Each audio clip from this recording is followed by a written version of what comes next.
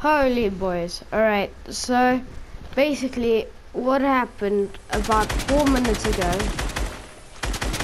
I caught, right, check this out, the Midas flopper.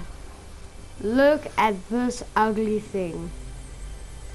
Holy cow.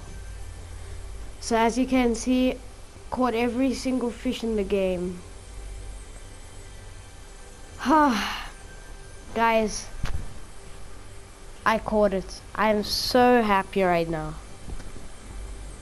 Oh, wow. so yeah, that's just a quick update on some things. But yeah, we caught this ugly bastard. This bastard of a fish. Yeah. Wow.